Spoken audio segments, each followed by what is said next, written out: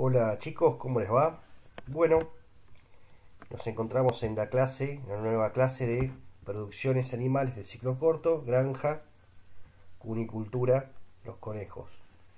Profesores, Novaro Huello Enrique de la Comisión 1, Patricio Luciana de la Comisión 2, Sanjurjo César de la Comisión 3, quien les habla, y Gustavo Pesolano de la Comisión 4. En la clase de hoy vamos a tratar el tema de salud y bienestar animal, haciendo referencia e hincapié en los conejos, que es la actividad que a nosotros nos compete eh, en primer año. Bien, vamos a ver un poquito. Para una buena salud es necesario tener en cuenta los siguientes aspectos. Eh, la salud del animal es el bienestar del animal. Prevenir es mucho más económico que curar. Por eso es mejor eh, adelantarse al problema que solucionarlo ya una vez ocurrido. Eh, el mejor desinfectante no reemplaza una mala higiene. O sea, tenemos que tener para un buen bienestar animal una higiene del, emplazamiento eh, correcta. La eliminación del estiércol y las fuentes de agua deben ser previa a la aplicación de insecticidas. Las vacunas no curan a los enfermos, sino que protegen a los sanos. Partiendo de esas cuatro premisas, eh, hay que tratar el tema de salud y de bienestar animal eh, en general. Bien, la primera enfermedad que vamos a ver, más comunes en los conejos, son las diarreas. Veamos qué es. En la producción intensiva de conejos, o sea, los conejos en, las jaulas, la diarrea es un eh, padecimiento constante, es común. Cualquier causa que, que, produzca estrés, como pueden ser los cambios climáticos, los cambios de alimento, los cambios de jaulas, entre, otras, eh, entre otros cambios, bajará la defensa del conejo y dará lugar a enfermedades. Las diarreas generalmente se presentan en la, en la etapa de engorde y no afectan tanto a los animales adultos, por su alta eh, acidez digestiva. El gazapo, la cría del conejo, recién alcanza la acidez digestiva de un adulto a los 50 días de vida. Por lo tanto, hasta esa edad lo han eh, penetrado los gérmenes que esperan su debilidad para atacarlo. O sea, tiene los gérmenes adentro, pero esperan que se debilite el animal para poder eh, atacarlo y generarle posteriormente una diarrea al conejo. La diarrea es un aumento en la frecuencia de las deposiciones, más de tres veces al día, acompañada de una disminución de la consistencia de las mismas. En ocasiones, la diarrea puede contener sangre, moco, pus y alimentos no digeridos. Prevención y tratamiento de la diarrea en los conejos.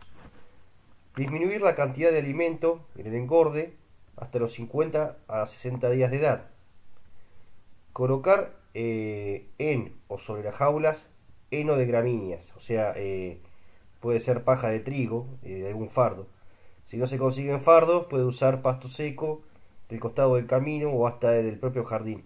Lo que nosotros hacemos en la chacra, en el entorno formativo, hay rollos, enificación de rollos, y sacamos de ahí eh, paja y ponemos en, los conejos, en las jaulas, para, evitar eh, una contaminación.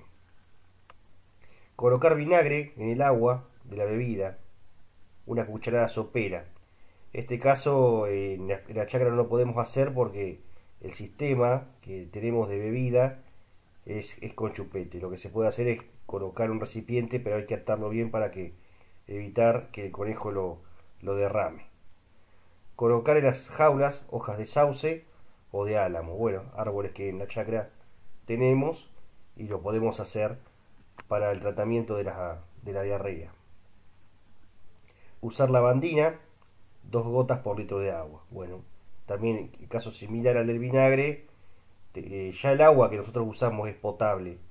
Así que en este caso si tienen conejos en sus casas pueden, y con diarrea pueden usar este método, pero en la escuela como tenemos el método de bebida por chupete, ya tenemos el agua asegurada que es potable.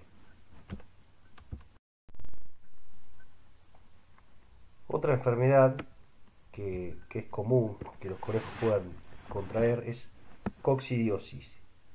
¿Qué es coccidiosis? Es una enfermedad producida por un protosario que se introduce por la boca con el alimento o con el agua contaminada.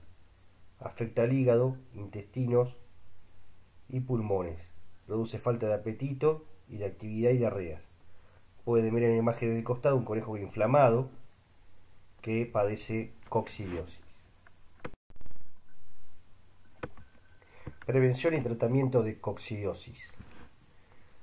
Usar jaulas con piso de malla de alambre que permitan la caída de los excrementos al suelo, como tenemos nosotros en la chaca. Lavar las jaulas con frecuencia. Utilizar comederos que impidan la contaminación del alimento con la materia fecal. Nosotros tenemos eh, comederos tipo tolva que impiden este tipo de contaminación. Y bueno, en caso de alguna enfermedad, agregar algún remedio al, al agua. Eh, fíjense en la imagen del costado, un conejo que, no está con un correcto bienestar animal y que padece de, de, de, coccidiosis. Veamos ahora la sarna. Es una enfermedad producida por un parásito externo, un ácaro, que se puede instalar debajo de la piel o en la cara interna de la oreja. Produce caídas de pelo, y formación de costras rojizas. Como pueden ver en la imagen del costado, un conejo eh, en una clínica veterinaria eh, con las manchas rojizas y también bastante venido a menos de, en cuanto al ánimo, ¿no? Estar enfermos, por animalitos. Prevención y tratamiento de sarna. Sencillamente mantener limpio y desinfectado el conejar, o sea, donde tenemos alojado a los conejos quemar periódicamente con un soplete restos de espero de las jaulas. No sé si hace falta quemarlo, solo con limpiarlo ya estaría bien. Importante aislar a los animales enfermos para que no contagien el resto. Tratar eh, a todos los animales en caso de aparecer la enfermedad, por más que no presenten síntomas. A todo el plantel tratar. Usar productos inyectables según indicación la indicación que nos dé el veterinario. Siempre cuando tenemos un plantel de animales enfermos, hay que acudir al profesional, al médico veterinario. Pueden ver en la imagen del costado un conejo con sarna ya bastante avanzada, que bueno, eh, no tenemos que llegar a ese estado en animal. Ni bien la detectamos, tenemos que, que, empezar con, con el tratamiento. Otra enfermedad es pasteurelosis. Es una enfermedad respiratoria que se presenta bajo tres formas.